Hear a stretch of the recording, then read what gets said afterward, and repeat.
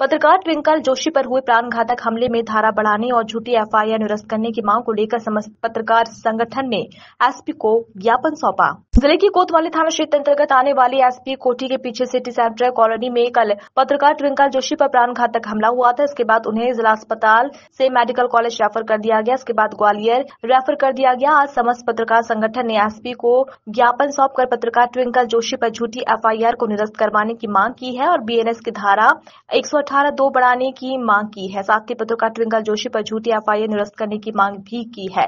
City central colony में पत्रकार twinkle Joshi के भाई संदीप शर्मा का एक प्लॉट है, जिस पर उनके भाई मुंडी गड़वा रहे थे। इस दौरान ट्विंकल जोशी भी प्लॉट पर पहुँच गए थे। पड़ोस में रहने वाले विनोद सोनी, आर्यन सोनी, कौशिक सोनी और चिंटू सोनी प्लॉट को लेकर विवाद करने लगे। इसके बाद मारपीट करने को उतारू हो गए। इस पर जब उन्हें रोका गया तो कुल्हाड़ी से ट्विंकल जोशी पर हमला कर दिया। इसके बाद अस्पताल में भर्ती कराया गया है जहाँ से उन्हें मेडिकल कॉलेज रेफर कर दिया गया था। मेडिकल कॉलेज से गंभीर हालत को देखते हुए ग्वालियर रेफर कर दिया गया जहाँ उनका उपचार जारी है। आज जो समस्त पत्रकार संगठनों जो ज्ञापन सौंपा है। क्या है पूरा मामला?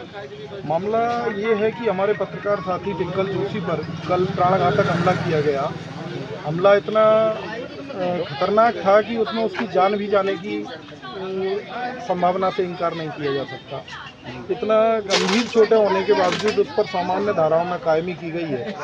तो जो घटना जिस तरह से हुई है, उसके अनुरूप उस पर कार्रवाई हो और झूठी एफआईआर जो टिंकल के खिलाफ की गई है उसको निरस्त करने की मांग को लेकर सारे पत्रकार साथी यहाँ एकत्रित हुए हैं और माननीय पुलिस अधीक्षक महोदय को ज्ञापन प्रेषित किया है। शासन प्रशासन अगर आपकी ये बात को नहीं मानता तो आगे आपकी क्या क्या कर रहा है? शासन प्रशासन क्या है कि अभी फ़र्स्ट एफआईआर हुई है, प्रथम सूचना है। उसके बाद देखते हैं कुछ समय, जैसा उन्होंने आश्वासन दिया है कि इसकी जाँच कराई जाकर जो तथ्य छूट गए हैं या जो धाराएँ छोड़ दी गई हैं, अभी उनका इजाफा नहीं किया। अगर उनका इजाफा नहीं करते तो आगे सारे पत्रकार साथी बैठ करके अपनी आगे की रणनीति तय करेंगे कि क्या करना है उसमें। सभी मिलकर विचार विमर्श करके उसके आगे की रूपरेखा तैयार करेंगे। क्या स्थिति बनी हुई है। अभी गंभीर रूप से घायल है और उसको ग्वालियर रेफर किया गया है। ग्वालियर मेडिकल कॉलेज में इलाज चल रहा है।